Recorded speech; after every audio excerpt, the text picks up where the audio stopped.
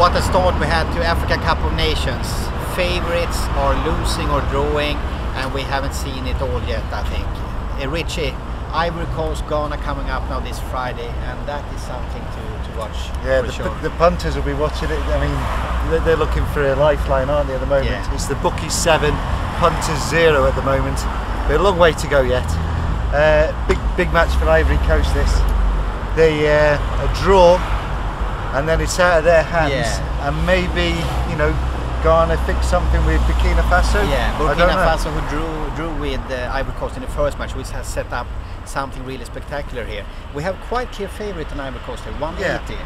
Well, um, Ghana, as we mentioned before, you know they're missing some players. Uh, Appiah, Muntari. Yeah. You know they're the focal points of. Uh, exactly. And. Essien, there's you know worries about injuries, injury there. I mean he, he's there. But still, you don't know. You know he'll, he'll probably play, but you know is he 100% Yeah, fit? I'm yeah. not sure. Yeah. I mean Ivory Coast they bombarded Burkina Faso. They did everything but score, didn't they? So um, I think Ivory should do this. I think they're, they're stronger and you know it's a weakened Ghana side. Yeah. And we're top price on Ghana. We're uh, 425, 435. Yeah. 435. Yeah. I mean that's you know if, if you if you fancy Ghana, come with us. You know we'll accommodate you, no problem. um, We'll see how it goes. We have a smashing match coming up for sure. It's Ghana Ivory Coast. Don't miss Mila's tips. It's coming up. We have live betting as well. 1-8 on Ivory Coast, so 435 on Ghana. You decide. See you later. Thanks, Richard. cheers.